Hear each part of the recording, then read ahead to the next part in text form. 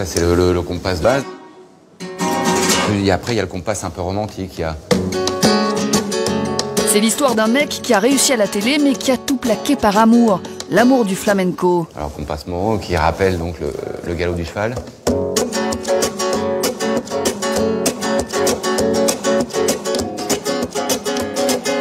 Yvan Le Beloc, guitariste professionnel, ça peut surprendre. On avait surtout l'habitude de le voir devant une machine à café avec son comparse Bruno Solo. Producteur d'une série regardée chaque soir par 3 millions de téléspectateurs, il a gagné beaucoup d'argent. C'est ma réputation, voilà. Au balton, qu'est-ce qu'ils vont dire les gens quand ils vont savoir que Jean-Claude Convenant est l'assistant qui boit pas? Je vais passer pour une, pour une lopette. Et alors pour, pour ce prétexte fallacieux, je vais le renvoyer dans l'enfer du chômage? Exactement. Attends, qui attend depuis deux ans du boulot. Attention. Loin des plateaux télé désormais, Yvan préfère partir en tournée avec son groupe de gitans. le ballon Brestour Venez manger des crêpes, c'est gratuit et c'est bon pour la ligne Dans le train qui l'emmène vers Rennes, il n'a pas renoncé à faire le clown. Il a piqué la veste et la casquette du contrôleur. Et pour brancher l'uniforme, c'est énorme. C'est énorme. T'as beau avoir une, une chemise de gitan en dessous avec la casquette et la veste. Mais c'est l'uniforme de caméra café qui lui colle encore à la peau. Ah bah ouais, mais on peut pas toujours faire la même chose non plus. Hein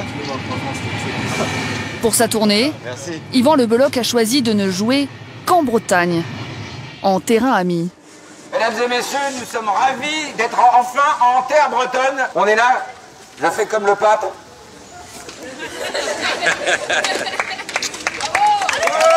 Ouais Voilà, c'est la seule chose que je fais tout comme le pape.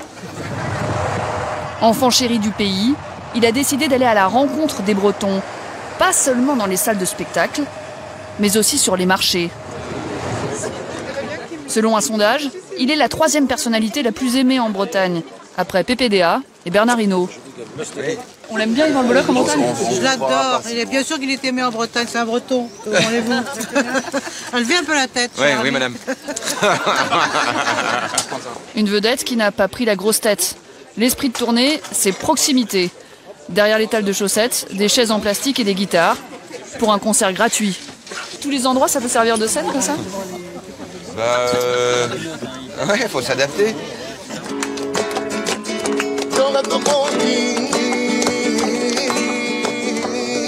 Le breton est sceptique. La musique gitane, c'est pas vraiment la culture maison. Mais petit à petit, il se laisse gagner par la chaleur de la rumba flamenca.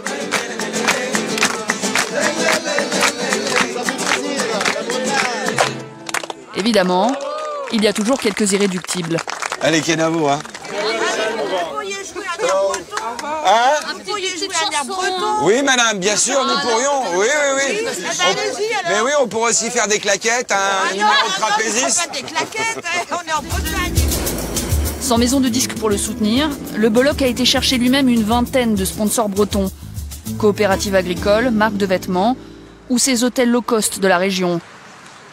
C'est là, avec son groupe, qu'il va dormir ce soir. Bon, il n'y a pas la- y a pas d'ascenseur, à ce prix-là, faut pas déconner. Non. Ok. Pour 10 euros, je viens faire service. Changement de train de vie, avec le sourire.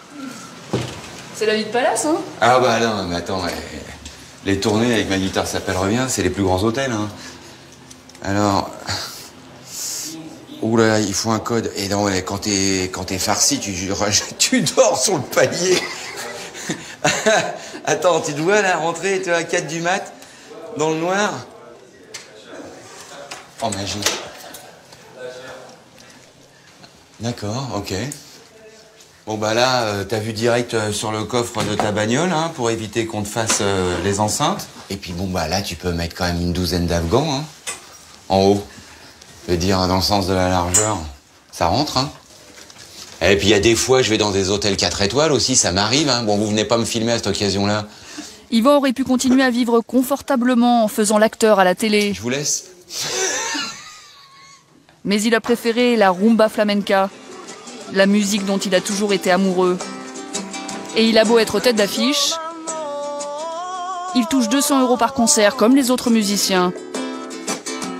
Il y a six ans, il ne connaissait que quelques accords de guitare. Il est allé chercher Patrick, un grand guitariste gitan, pour qu'il lui apprenne la musique. Il avait déjà la technique de la rumba. Et avec le temps, depuis, depuis 5 ans, on lui a donné euh, quelques astuces pour, euh, pour améliorer son jeu. Et il a, il a bossé. déjà. Yvan, c'est un gros bosseur en fait. hein.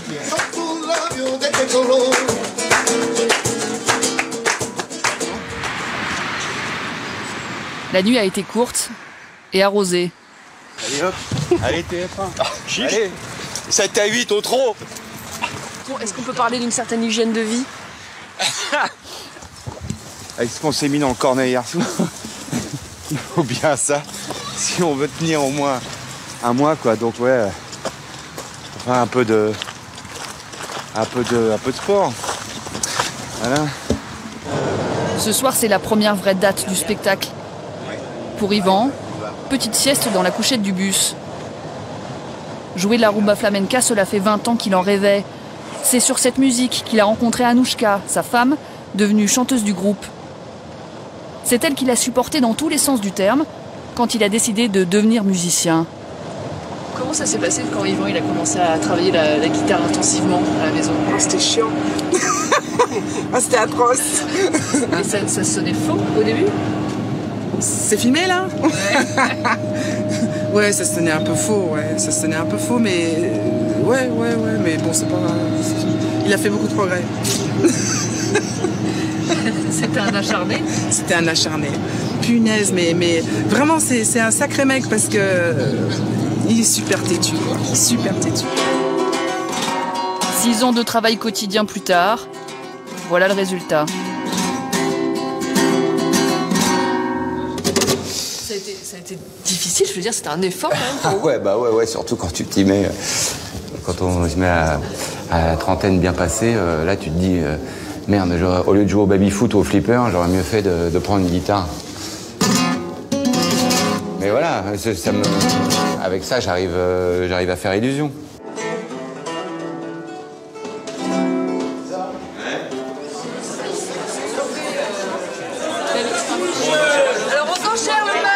Ce soir, le Palais des Congrès de Pontivy affiche complet. Mais la tournée reste familiale. En t-shirt rayé, le fils le Bolloc. Vous êtes sur toutes les tournées Non, bon, non j'ai des études quand même. Sinon après je vais finir comme lui avec euh, les guitares et tout ça. Et dans la famille le Bolloc, il y a aussi la maman. C'est vous sa plus grande fan, vous pensez C'est moi, oui. Vous suivez là pendant toute la tournée Oui, pendant un mois. Pourquoi Parce que c'est mon fils, si je retrouve la Bretagne, je retrouve les. Qu'est-ce que je vais dire Mes, mes racines. En coulisses, derniers instants avant la scène. Bon, Petite montée d'adrénaline.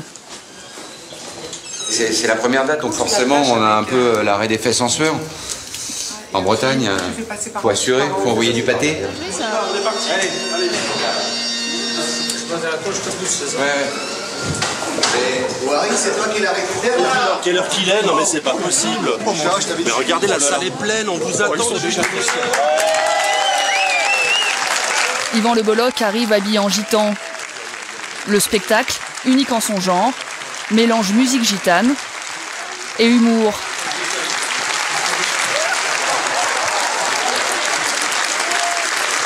Est-ce que ce soir, ici, à Pontivy, en Great Price on n'aurait pas des fois le meilleur public de Bretagne?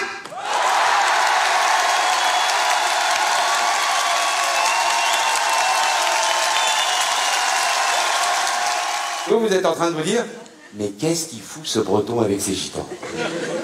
Ça m'a coûté trois bourriches d'huîtres. Que j'ai offert à mes camarades gitans pour les sensibiliser à la cuisine celte. Quand je vois qu'ils s'évertuent à vouloir les faire cuire au barbecue.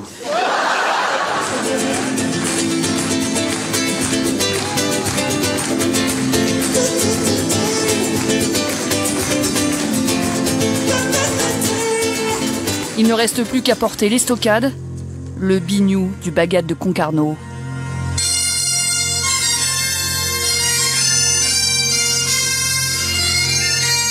Yvan Le Bolloc, l'homme qui fait rimer Bretagne et musique gitane.